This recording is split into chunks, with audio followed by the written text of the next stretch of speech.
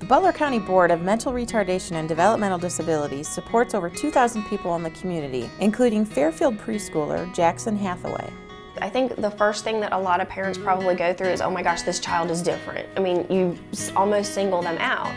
After Jackson was diagnosed with autism spectrum disorder, he was enrolled in early intervention programs and helped me grow. It's been awesome. It's been awesome, and I think so much of it is because of that early intervention. It was just getting everything that we could do at that time, you know, at that age. I think that's very important. He doesn't see himself as different. I don't, he doesn't think he's different in any way. He's just a little behind. He goes out and plays. He loves to be outside. He eats and loves his cookies and gets on the school bus just like everybody else. the Butler County Board of MRDD wants to remind you that people with disabilities are people just like everybody else.